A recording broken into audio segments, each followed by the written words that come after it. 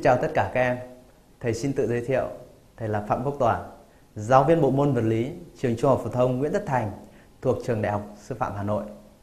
Hôm nay, thầy sẽ giới thiệu với các em một chủ đề đầu tiên về chương khó nhất, chương chiếm nhiều câu hỏi nhất của đề thi đại học, đó là chương dao động cơ học. Và chủ đề đầu tiên thầy xin giới thiệu đó là chủ đề đại cương về dao động điều hòa.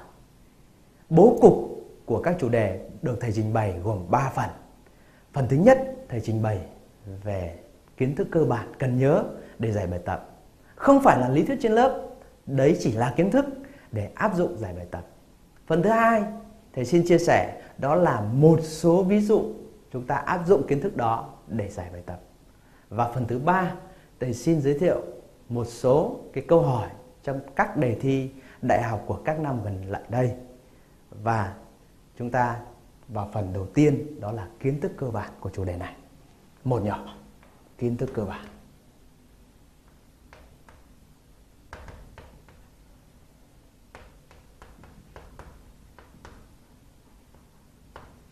Kiến thức cơ bản. A nhỏ. Về định nghĩa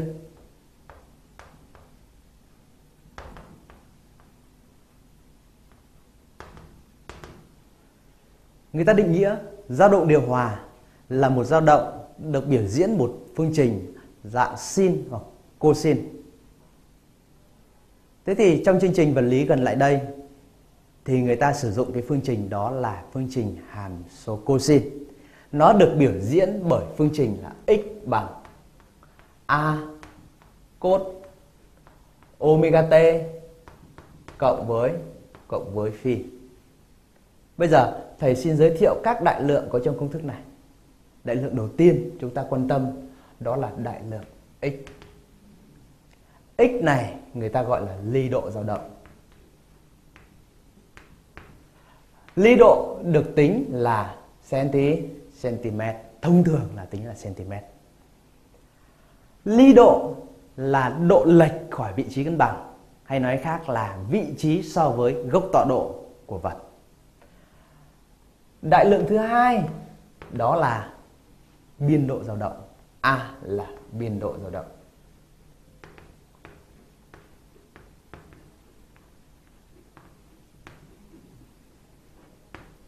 Biên độ dao động thì cũng có đơn vị là cm, đơn vị thường sử dụng. Tiếp tục, đó là tần số góc omega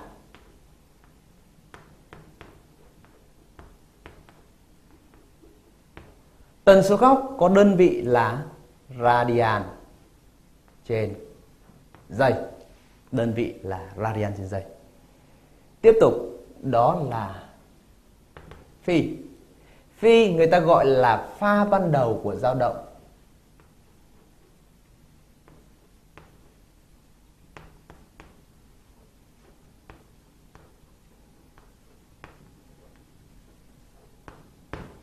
Pha ban đầu được tính à, có đơn vị là radian. Đơn vị là radian. Và cuối cùng là cả cái cụ omega t cộng với phi. Người ta gọi là pha của dao động. Pha dao động.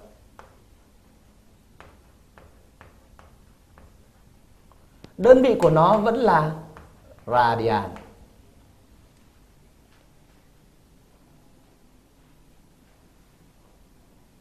Lưu ý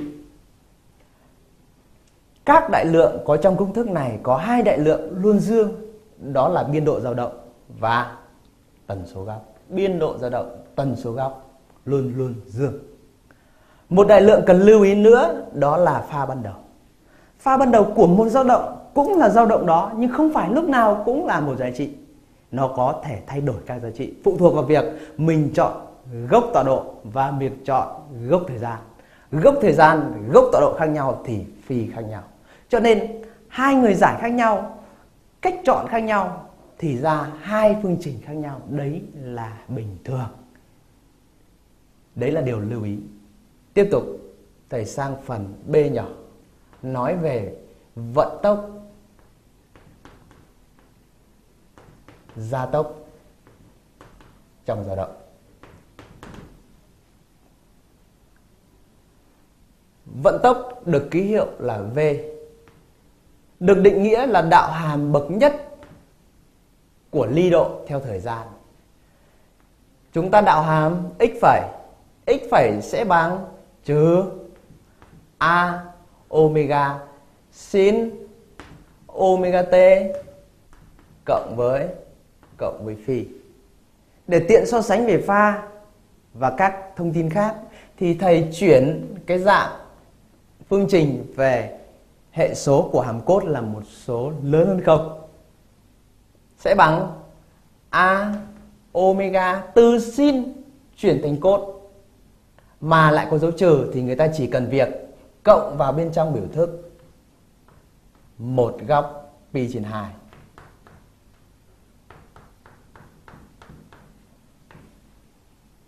Lát nữa thầy sẽ nói các trường hợp thường dùng để mà chuyển từ các hàm khác về hàm sin dạng chuẩn. Tiếp tục là gia tốc A, được định nghĩa là đạm hàm bậc nhất của vận tốc theo thời gian bằng đạo hàm bậc 2 của ly độ theo thời gian. Thì nhìn vào đây thì các em cũng hoàn toàn có thể đạo hàm ra kết quả giúp thầy. Đó là bằng trừ A omega bình. Cốt omega t cộng với cộng với phi. Nếu kem làm mất dấu âm đi, thì chúng ta sẽ có là a, omega bình. Cốt omega t cộng phi cộng phi cộng phi. Cũng có thể biểu diễn cái phương trình này theo ly độ x thì thầy có thể viết là trừ omega bình bình x. Từ hai phương trình vận tốc và gia tốc so sánh với phương trình của ly độ thì các em có thể so sánh được pha của hai anh này với anh ly độ. Cụ thể, nhìn vào biểu thức này chúng ta thấy vận tốc nhanh pha hơn ly độ một góc pi trên 2. Gia tốc nhanh pha hơn ly độ một góc pi, nhưng người ta lại không nói nhanh hơn một góc pi, mà người ta lại bảo là ngược pha. Từ dùng, chúng ta dùng là ngược pha. Gia tốc ngược pha so với ly độ, dấu trừ này thể hiện điều đó. Hoặc là so sánh pha của gia tốc và vận tốc, thì các em thấy, lấy cái này trừ đi cái này, pha này trừ pha này, thấy rằng nó bằng dương pi trên hai. Thế thì rõ ràng nó gia tốc, nhanh pha hơn. Vận tốc một góc, pi trên 2 đấy là những cái nhận xét của chúng ta. Thế thì để khai thác các đại lượng có trong phương trình của dao động điều hòa, ví dụ như a, omega hay phi, thì chúng ta phải so sánh với cái phương trình chuẩn. Phương trình chuẩn của dao động điều hòa là x bằng a cos omega t cộng phi nhưng mà có những phương trình người ta cho không có là a, dạng a cos omega t cộng phi. Thế thì chúng ta phải chuyển về dạng đó. Thế thì chúng ta có những cái công thức chuyển.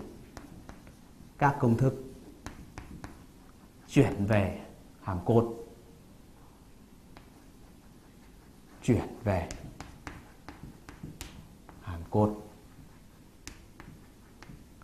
các công thức thông dụng như sau.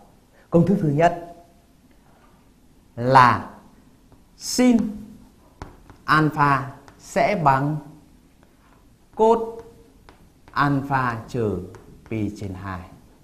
Công thức thứ nhất. Công thức thứ hai là trừ sin alpha. Chuyển về hàm cốt, chúng ta chỉ việc cộng vào trong ngoặc một góc là pi pi trên 2. Trừ sin chuyển về cốt cộng pi trên 2. Sin chuyển về cốt trừ pi trên 2. Công thức thứ ba là trừ cốt alpha sẽ bằng cốt của alpha cộng với cộng với pi.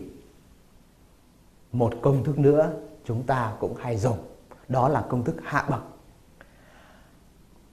Sin bình alpha sẽ bằng 1 trừ đi sin à xin lỗi là cốt 2 alpha chia cho chia cho 2 hoặc là cốt bình alpha bằng 1 cộng với cốt 2 alpha chia cho chia cho 2. Đây là một trong những công thức chúng ta chuyển về từ các hàm khác về hàm cốt ở dạng chuẩn. Tức là trước nó là những dấu dương dấu dương. Ở đây, công thức này chúng ta cần phải chuyển một lần nữa. Thế vào bài toán cụ thể thì thầy sẽ sẽ sẽ cùng kem biến đổi cho nó hợp lý. Đấy là phần vận tốc, gia tốc.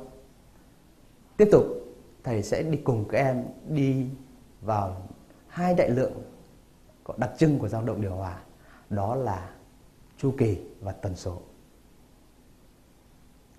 Chúng ta tiếp tục đi sang phần C nhỏ, chu kỳ, tần số.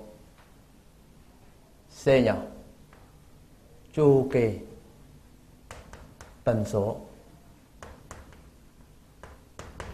Chu kỳ được ký hiệu là T. Chu kỳ được định nghĩa như sau.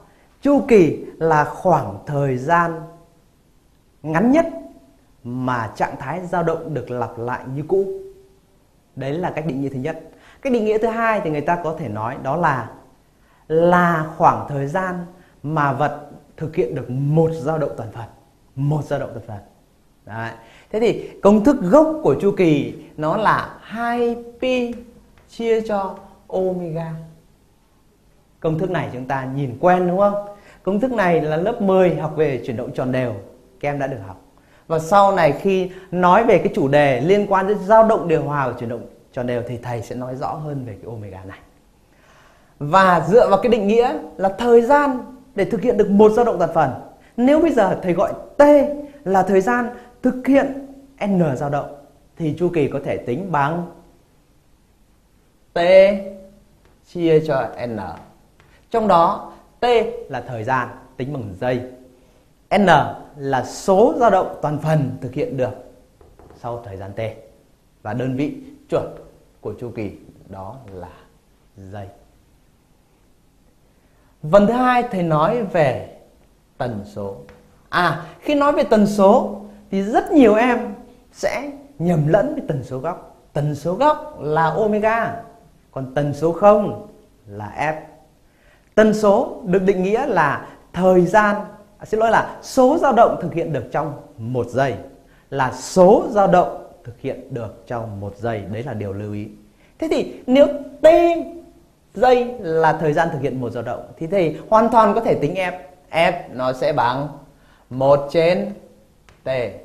Nếu t tính bằng giây thì đơn vị của f đơn vị chuẩn của nó là hẹp ký hiệu là h lớn z nhỏ thế thì cứ có đơn vị là z hz thì các em sẽ suy ra à đại lượng đó là là tần số chứ không phải là tần số góc.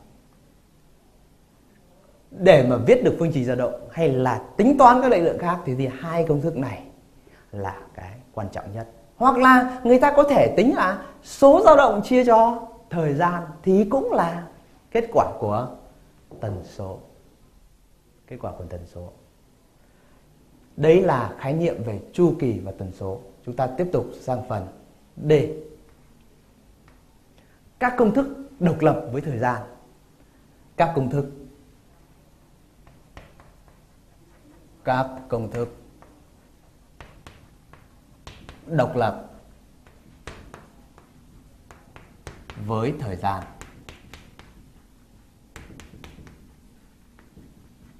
Các công thức độc lập với thời gian à, bởi vì là khi chúng ta tính toán các đại lượng nếu mà có yếu tố thời gian và giải phương trình hàn sin hoặc cốt rất là khó khăn cho nên người ta hay sử dụng các công thức liên hệ. Ví dụ như công thức liên hệ giữa ly độ vận tốc tốc độ góc và biên độ. Thế thì dựa vào các biểu thức của ly độ các biểu thức của vận tốc biểu thức của gia tốc các em suy ra sin cột và chúng ta nhớ một điều, chúng ta có một cái công thức bất di bất dịch trong toán học, đó là sin bình cộng cốt bình bằng bằng một. Thế thì có hai công thức mà độc lập với thời gian chúng ta hay dùng nhiều nhất. Đó là công thức thứ nhất, x bình cộng với v bình trên omega bình bằng a bình. Đây là từ hai phương trình x và v suy ra sin cos bình phương hai vế cộng lại thì được cái này. Đấy. Công thức thứ hai cũng hay sử dụng nhưng ít hơn một chút, đó là giữa vận tốc v trên omega tất cả bình phương cộng với a chia cho omega bình tất cả bình phương bằng a bình hai công thức hay sử dụng nhất chúng ta tiếp tục sang phần e. Thầy muốn tổng kết lại các kiến thức bởi hình vẽ của dao động điều hòa. Các em nhìn lên hình vẽ như sau. Dao động điều hòa thì từ phương trình chúng ta thấy rằng vật sẽ dao động quanh vị trí cân bằng. Ồ, và người ta thường chọn vị trí cân bằng trùng với gốc tọa độ thì nó sẽ dao động xung quanh hai vị trí trừ A và A. Nhìn vào đây, chúng ta thấy các vấn đề về ly độ. Nếu mà ở phía từ ô ngược về phía trục âm thì ly độ sẽ nhỏ hơn nhỏ hơn không. Nếu về phía trực dương thì ly độ sẽ lớn hơn không? Cái điều này rất quan trọng để viết phương trình. Về mặt vận tốc, nếu chúng ta thấy là vật chuyển động cùng chiều dương, tức là nó chuyển động theo hướng này, thì tương ứng với V lớn hơn không. Thế thì nếu nó chuyển động ngược chiều dương thì V nó sẽ nhỏ hơn nhỏ hơn không điều này cũng rất dễ bị nhầm ở cái chỗ một vật đang ở biên dương, thì trong đầu các em luôn luôn nghĩ là vận tốc của nó là dương, hoàn toàn có thể xảy ra hai trường hợp.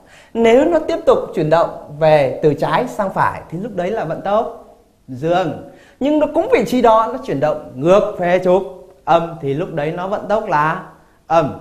Rất lưu ý, rất lưu ý chỗ này. Là không có nghĩa là ở biên dương thì vận tốc dương, mà còn phụ thuộc vào chiều chuyển động. Về mặt gia tốc A thì nhớ cho thầy. Đấy. Gia tốc đều có chiều hướng về vị trí cân bằng và nó đổi chiều ở vị trí cân bằng. Có một điều lưu ý, nếu chiều dương như thế này thì ở phần biên âm thì gia tốc dương ở phần biên dương thì gia tốc âm và lưu ý dao động điều hòa là chuyển động không đều. Chuyển động không đều. Bởi vì lớp 10 chúng ta học chuyển động thẳng đều là gia tốc không đổi. Nhưng gia tốc này có phương trình là thay đổi theo thời gian, cho nên nó không thể kết luận là chuyển động thẳng nhanh dần đều được, mà phải là chuyển động thẳng nhanh dần thôi. Được chưa? Nhanh dần hoặc chậm dần, gọi là biến đổi đều đúng không? Đấy là cái tổng kết về các đại lượng x, v, a. Chúng ta còn phải biết thêm các công thức để tính các đại lượng. Ví dụ, có khái niệm chiều dài quỹ đạo, tức là một vật cứ dao động qua lại hai vị trí a và chữ, trừ a này thì cái đoạn thẳng từ âm A đến dương A, người ta gọi là chiều dài quỹ đạo, ký hiệu là L thì chiều dài quỹ đạo sẽ bằng hai lần biên độ. Tính biên độ thì sẽ bằng chiều dài quỹ đạo chia cho chia cho hai. Hoặc là trong một chu kỳ thì vật đi được quãng đường là bao nhiêu? Đi được một quãng đường là 4A ví dụ quãng đường đi được trong một chu kỳ S sẽ bằng 4 4A. À, đến đây người ta cũng hay có một câu hỏi là tính vận tốc, độ lớn vận tốc trung bình trong một chu kỳ.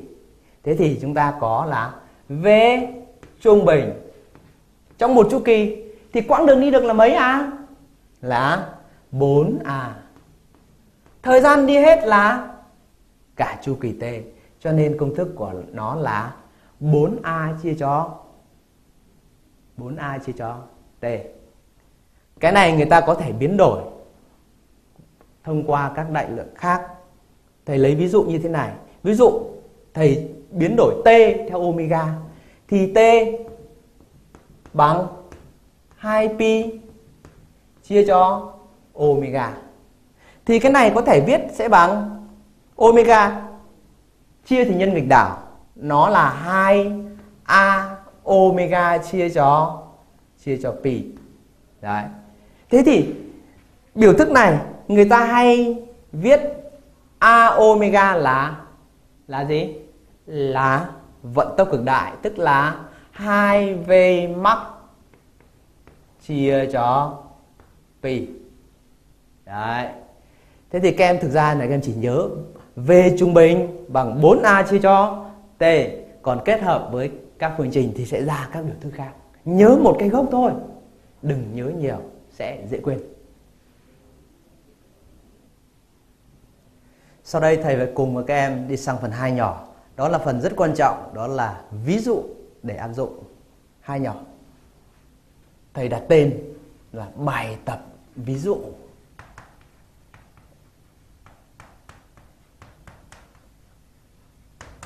Thầy có tổng 3 ví dụ. Ví dụ đầu tiên là ví dụ đơn giản nhất. Ví dụ 1. Một dao động điều hòa có phương trình x bằng 5 cốt 4 pi t cộng pi trên 6 cm. Câu A. Cần tính các thông số biên độ pha ban đầu tần số. Ý thứ hai, cần xác định ly độ tại thời điểm t bằng 1 giây. Và câu thứ ba là xác định ly độ khi pha dao động, khi pha là 120 độ chúng ta tiến hành giải cái ví dụ này như sau giải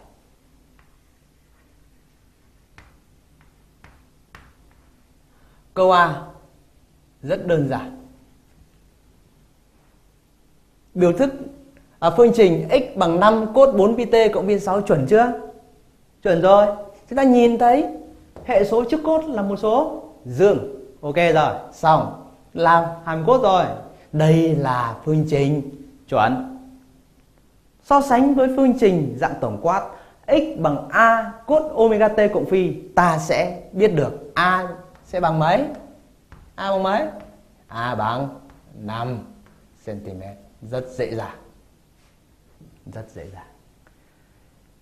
Phi, a nhìn vào biểu thức sẽ bằng pi trên pi trên 6 và f muốn tính được f thì chúng ta phải phải biết omega f được tính bằng công thức là omega chia cho 2pi bằng.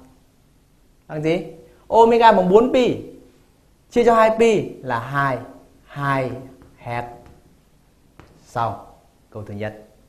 Rất dễ dàng, miễn là các em phải đưa cái phương trình về dạng chuẩn. Và đây đầu bài đã cho phương trình dạng chuẩn rồi. Cứ thế mà nhìn thôi. Anh này là omega, anh này là phi, anh này là là à đấy là câu đầu tiên. Câu b. Xác định ly độ khi thời điểm t bằng một giây. Thì cứ thay t một giây thôi, chả có vấn đề gì. X bằng 5 cốt của 4 pi nhân với 1 cộng với pi trên pi trên 6. Chúng ta đã biết rằng hàm cốt tuần hoàn theo chu kỳ là 2 pi. Cho nên cộng thêm cái thành phần chẵn của 2 pi thì chúng ta bỏ đi không cần tâm, không cần quan tâm. Chỉ cần quan tâm đến cái phần lẻ này thôi. Thế thì nó sẽ bằng 5 cốt của pi trên pi trên 6 mà cốt của pi trên 6 nó sẽ bằng căn 3 trên 2 nhân với 5 nó sẽ bằng 2,5 căn 3 căn 3 cm cũng vẫn còn dễ. À bây giờ là ý C thì sao? C. Xác định ly độ khi pha dao động là 120 độ. Thế pha dao động là cái gì? Pha dao động là gì? Pha dao động là cả cái cụm này này. Chứ không phải là cái này.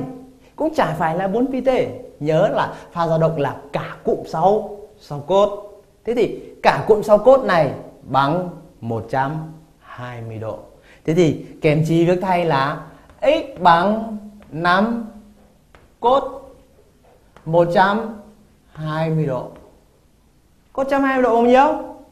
Ai cũng biết cốt 120 độ bằng trừ 1 phần 2 cho nên cái này nó sẽ bằng trừ 2,5 cm 2,5 cm rất dễ thế mà này ở đâu mà thầy nên lấy ví dụ dễ quá như thế này? À nếu cái này làm được thì kem là tiền đề để làm các câu câu khác. Ví dụ như câu, xác định khoảng thời gian khi nó đi từ vị trí cân bằng đến ly độ nào đó. Hoặc, quãng đường nó đi được từ thời điểm ban đầu đến thời điểm t bằng một giây. Nếu không biết được cái này thì làm phần sau rất khó. Được chưa? Ví dụ 2 thầy có khó hơn một chút, nhưng vẫn còn dễ. Ví dụ 2 một dao động điều hòa được mô tả bằng phương trình sau. X bằng 4 sin bình. 4 pi t cộng pi trên pi trên 6 cm. Hãy tính các đại lượng là biến độ pha ban đầu chu kỳ t. Nhìn vào đây. Phương trình chuẩn chưa? Chưa chuẩn phương trình của dao động điều hòa. Nó phải dạng x bằng a cos omega t cộng với cộng với phi. Được chưa? Cho nên để khai thác các thông số, các đại lượng A, phi, T thì phải chuyển về dạng chuẩn. Dạng chuẩn thì chỉ có cách là hạ bậc, công thức hạ bậc. Phần lý thuyết thầy đã đã nói. Thế thì chúng ta cùng là Đấy. Hạ bậc thầy không viết lại đầu bài. 4 hạ bậc của sin là 1 trừ đi 2 à xin lỗi 1 trừ đi cốt của 2 alpha, tức là 8 pi t, cộng với pi trên 6 nhân 2 là pi trên pi trên trên 3. Tất cả chia cho mấy? Chia cho 2. Chúng ta sẽ có x bằng 2 trừ đi 2 cốt 8 pi t cộng với pi trên 3. Khi hạ bậc rồi, các em chỉ quan tâm đến thành phần chứa cốt thôi. Chỉ quan tâm đến thành phần này thôi. Chứ không cần quan tâm đến dấu, không cần quan tâm đến cái này. À cái điều này nếu sau này các em biết thêm thì cái này vị trí cân bằng nó không trùng với cái gốc tọa độ thì nó sinh ra cái anh hằng số này thôi sau này chúng ta sẽ biết ở cái trường hợp vị trí cân bằng không trùng gốc tọa độ sinh ra hình này. Nhìn vào biểu thức của cốt, thấy luôn a bằng 2 cm a dương cho nên không thể lấy là âm âm 2 thì a bằng 2 cm phi bằng bao nhiêu? Phi bằng pi trên pi trên 6 à xin lỗi, pi trên 3 nếu ai nhìn nhanh thì cho phi bằng pi trên 6 là sai. Rõ ràng phi là pi trên 3 tiếp tục. T. Chu kỳ. T. Bằng. 2 pi chia cho omega. Omega sẽ bằng 8 pi. Cứ cái hệ số trước t đấy chính là omega. Thế thì nó sẽ bằng 2 pi chia cho 8 pi sẽ bằng 1 phần tư tức là 0,25 giây. À, bài này cũng đã có năm ra vào đề thi đại học. Nó đơn giản nhưng có khả năng, có khả năng thi được rồi. Đấy là ví dụ thứ hai. Tiếp tục, thầy xin giới thiệu ví dụ thứ ba khó hơn và chắc chắn cái khả năng ra đề thi đại học tầm này là có thể và các em sẽ thấy rằng là à ví dụ như này mình làm được thì tại sao mình không thi được đại học à chúng ta sẽ quan sát cụ thể ví dụ thứ ba như sau ví dụ ba một phương trình dao động điều hòa được mô tả bằng hàm x bằng 5 cốt 2 pi cộng pi đơn vị là cm. Tại thời điểm t1 giây, vật có ly độ x1 bằng 4 cm. Câu A. Tại thời điểm t2 bằng t1 cộng 0,5 giây thì ly độ x2 bằng bao nhiêu? Cũng câu hỏi dạng tương tự B nhỏ. Tại thời điểm T2 bằng T1 cộng 0,75 giây thì ly độ x2 bằng bao nhiêu? Chúng ta tiến hành giải.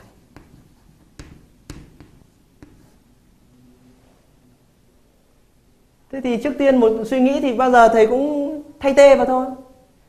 T1 không thay. À T2 tôi cần tính cho nên tôi thay vào.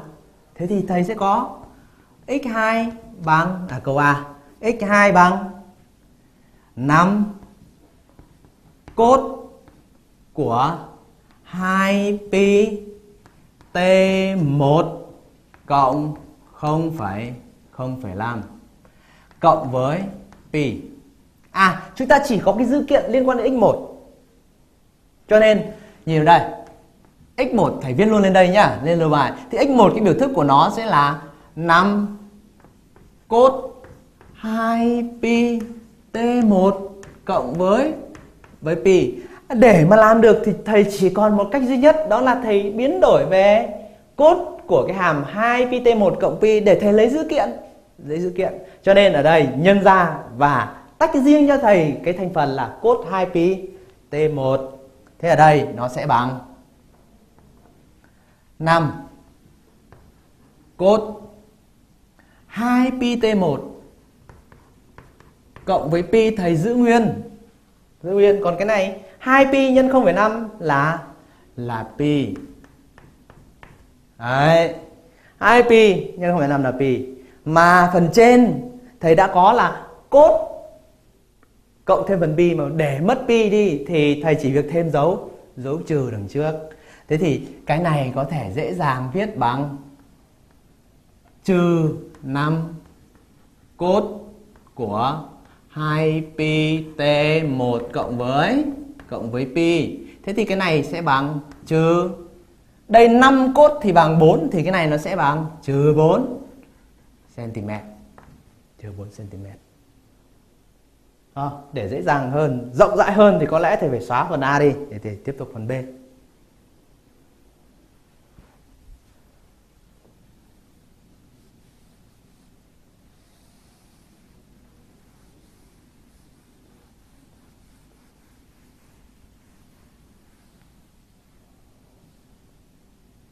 Phần B cũng tương tự thôi.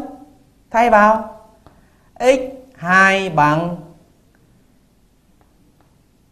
5 cốt. 2 pi t1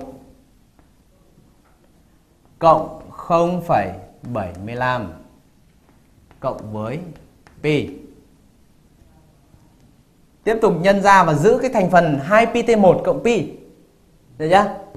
5 cốt.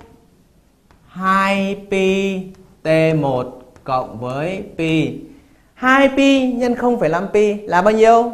0,75 là 3 pi à 3 phần tư nhân với 2 pi là là gì? 3 pi trên 3 pi trên 2.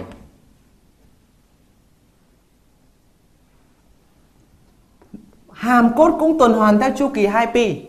Cho nên để nhẩm nhanh thì thầy sẽ trừ đi 2 pi. Thế là cộng cả 2 pi gì? Thì thầy trừ đi á, trừ thêm 2 pi hàm không đổi. Thế trừ thêm 2 pi thì thầy sẽ có biểu thức là 5 cốt của 2 pi T1 cộng với cộng với pi.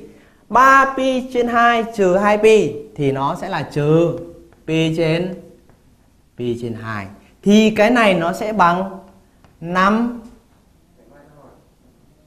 sin 2 pi T1 cộng với với p À, ở đây cốt biết, sin biết.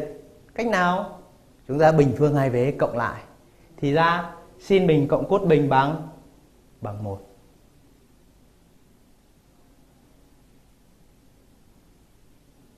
Thế thì à, từ đó chúng ta có thể dễ dàng sử dụng suy ra được là x2 bằng cộng trừ 3 cm. Đấy. Nhớ nha, nhớ nha. Bình phương cái này lên. Bình phương cái này lên thì thầy sẽ có x1 bình cộng x2 bình bằng 5 bình bên trong là sin bình cộng cốt bình và sin bình cộng cốt bình là bằng bằng 1. Thế thì dễ dàng giải ra được x bằng cộng trừ 3 cm. Còn cụ thể nó bằng 3 hay là trừ 3 còn phụ thuộc vào dữ kiện ban đầu của đề bài thì chúng ta mới biết cụ thể nó bằng dương 3 hay âm 3. Sau đây thầy sẽ giúp các em giải một số câu hỏi trong đề thi đại học, cao đẳng các năm gần lại đây. Câu hỏi thứ nhất, đề thi đại học năm 2009. Một dao động điều hòa, thầy viết tắt, có độ lớn vận tốc cực đại là 31,4 cm trên giây. Lấy pi bằng 3,14. Tốc độ trung bình của vật trong một chu kỳ là A 20 cm trên giây, B 10 cm trên giây, C 0, D 15 cm trên giây. À, thì chúng ta định hình câu hỏi nhá. Câu hỏi người ta cho vận tốc cực đại, tức là cho cái gì? Chúng ta giải. Cho vận tốc cực đại tức là về về về mặt bằng 31,4 cm trên giây. Thấy chưa? Cho cái gì nữa? À cho pi. Pi thì đương nhiên rồi. Thế thì người ta hỏi, tốc độ trung bình của vật trong một chu kỳ. Quay trở lại cái phần trước. Thì chúng ta đã có công thức tính tốc độ trong một chu kỳ. Là gì? V trung bình bằng 4T xin lỗi 4A chia cho T nhưng mà A chúng ta không biết. Cho nên phải sử dụng công thức thứ hai là 2V mặc chia cho chia cho pi chi với tay số là ra rất đơn giản. 2 nhân 31,4 chia 3,14 và bằng bao nhiêu? 20 cm trên trên giây. Bài tưởng chừng đơn giản nhưng cũng đã từng thì rồi. Chỉ việc áp dụng công thức. Nhưng trên lớp không có cái công thức này trong sách giáo khoa đâu. Chúng ta phải suy luận. Và rõ ràng chúng ta lựa chọn đáp án A là chính xác. Đấy là ví dụ thứ nhất. 2009. Đấy là 2009 biết đâu là sang năm nó khó hơn một chút thì sao thế thì chúng ta lại tiếp tục tìm hiểu một câu hỏi của đề năm 2011 một chất điểm dao động điều hòa trên trục OX khi vật đi qua vị trí cân bằng thì tốc độ của nó là 20 cm trên giây nhớ cho thầy là tốc độ là gì tốc độ là độ lớn khi chất điểm có tốc độ 10 cm trên giây thì gia tốc của nó có độ lớn là 40 căn 3 cm trên giây bình phương. Hỏi biên độ dao động của chất điểm là A, B, C, D. Đấy, bây giờ chúng ta ờ, tóm tắt qua cái đầu bài. Đấy. Nó cho những thông số gì? À, khi đi qua vị trí cân bằng thì thầy gọi cái dữ kiện này là dữ kiện một tất cả thông số thầy kêu là một đây là dữ kiện là hai tất cả thông số là ký hiệu là hai thì các em nhìn này vị trí cân bằng lý độ bao nhiêu bằng bằng không x1 bằng không V độ lớn của V V1 bằng 20 cm trên trên giây. Được chưa?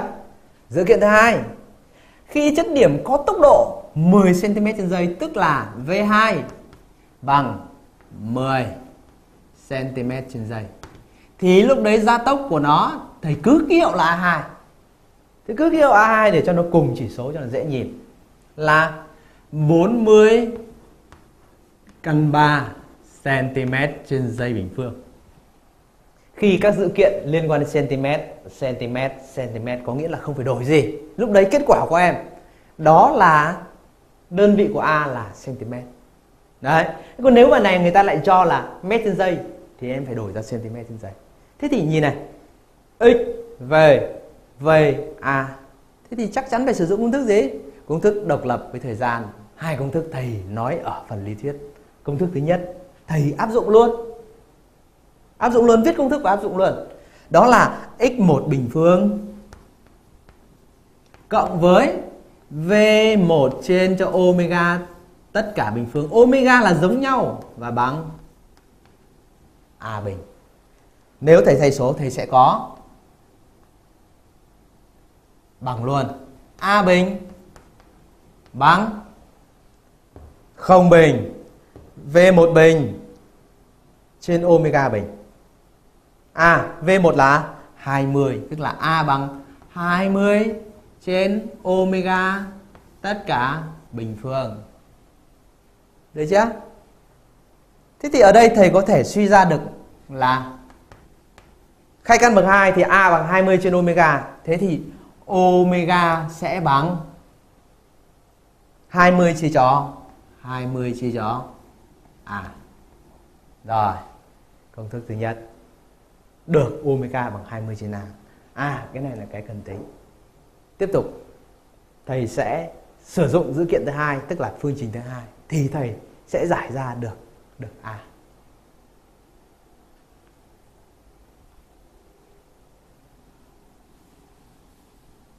Thầy giữ kiện lại giữ lại dữ kiện omega bằng 20 trên A. Đấy. Omega bằng 20 trên A. Đấy.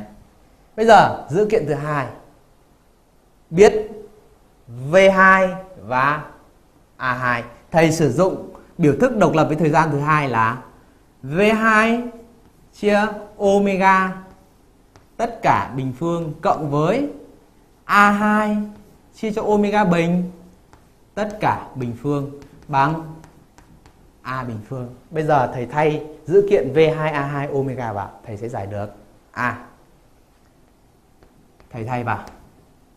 V2 là 10. Omega là A. Thầy nhân nghịch đảo luôn, tức là 20 trên A. 20 trên A. Rồi, để nguyên đây. 20 trên A. Tất cả bình phương. Cộng với 40 căn 3 chia cho omega bình tức là 400 chia cho A bình. Tất cả bình phương bằng A bình. Sau khi thay xong rồi thì thầy xóa cái này đi nhá. Được chưa? Bây giờ chia thì nhân với nghịch đảo. Thầy thầy có thể nhân nghịch đảo như sau. 10 20 tức là 1 phần 2 tức là A bình trên 4. Cái này bình phương lên. À, nghịch đảo bình phương chia cả tử với mẫu cho 40 thì thầy sẽ được căn 3 chia cho 10 tức là phần 3 phần 1 100 đúng không nhỉ 3 phần 100 nhân với A mũ 4 bằng A. Bình phương. Chia cả hai vế cho A bình phương, thì thầy sẽ được 1 phần 4 cộng với 3 phần 100 A bình bằng 1. Giải ra thì thấy rằng A bình sẽ bằng, cái này chuyển sang đây, là 3 3 phần 4 rút gọn 3 đi, thì A bình nó sẽ là 25 đúng không? Nhân chéo lên 3 phần 100 bằng 3 phần 4 rút gọn 3 đi là 1 phần 4 nhân chéo lên là 100 chia 4 bằng 25 thế thì A sẽ là 5 cm tùy thuộc vào kỹ năng thì chúng ta có thể giải nhanh hay chậm ở cái phần này. Và cái đáp án của chúng ta là đáp án à hai công thức độc lập về thời gian là ra kết quả. Đấy thế thì một lần nữa khẳng định là chúng ta có kiến thức cơ bản là có thể làm được đề thi đại học. Thầy, xin tiếp tục chữa câu thứ ba, đó là đề cao đẳng năm 2012 một vật dao động điều hòa với tần số góc là 5 radian trên giây. Khi vật đi qua ly độ là 5 cm thì nó có tốc độ là 25 cm trên giây. Biên độ dao động của vật là A 5,24 cm, B 5 căn 2 cm, C 5 căn 3 cm và D 10 cm. Thế chúng ta sẽ khai thác dữ kiện và câu hỏi trước tiên là hỏi về biên độ. Thì cái lý thuyết của thầy có những công thức nào liên quan đến biên độ? À, công thức chiều dài quỹ đạo. À, công thức quãng đường đi được trong cả chu kỳ. S bằng 4A, L bằng 2A. Rồi, công thức liên quan đến ly độ đó là xin lỗi là biên độ, đó là công thức độc lập với thời gian. Bây giờ chúng ta xem có những gì? Chúng ta xem đầu bài có có cái gì? A có tần số góc omega bằng 5 radian trên giây. Cái gì nữa? Lúc đấy ly độ lì độ bằng 5 cm. Và lúc đó có tốc độ, tức là độ lớn bằng 25 cm trên giây. Công thức nào? Công thức là, công thức độc lập tự do đó là liên hệ của x, v, omega và a. Đó chính là x bình cộng v trên omega tất cả bình bằng. A bình. Bây giờ thầy thay số luôn. a bình. Bằng. X bình, tức là 5 bình. Cộng với V 25 chia cho omega là 5 tất cả bình phương. Thì cái này nó chính bằng 25 chia cho 5 bằng 5 cho nên nó sẽ bằng 2 nhân với 5 bình phương. Thế từ đó dễ dàng có A bằng 5 căn 2 cm. Đáp án đúng chúng ta là B. Có một công thức và dạng luôn. Đấy, nó đề cơ bản. Và gần nhất là đề thi đại học năm 2013. Đó như sau. Câu 4. Một vật nhỏ dao động điều hòa theo quỹ đạo có chiều dài là 12 cm. Dao động này có biên độ là A 12 cm, B 24 cm và C 6 cm, cuối cùng là D 3 cm. Cái bài này quá dễ chắc chỉ mất 10 giây là ra thôi. Cho nên phải tận dụng chiều dài quỹ đạo L bằng 2 2A. Từ đó suy ra A bằng L trên 2. Chiều dài quỹ đạo là 12. 12 chia 2 6 cm. Không cần viết ra nháp cũng thể nhẩm được luôn là 6 cm. Đáp án C. Như thế, phải chăng như đề đại học càng ngày càng dễ? À, đây là chuyên đề đều đầu thầy muốn giới thiệu với các em thôi. Còn nhiều dạng khác khó hơn, muốn lấy điểm càng cao thì chúng ta phải đi từ cái cơ bản nhất. Và hẹn gặp lại các em trong các chuyên đề tiếp theo. Chúc các em có một kỳ, có một quá trình học tập hiệu quả và đạt điểm thi đại học cao nhất. Xin chào và hẹn gặp lại.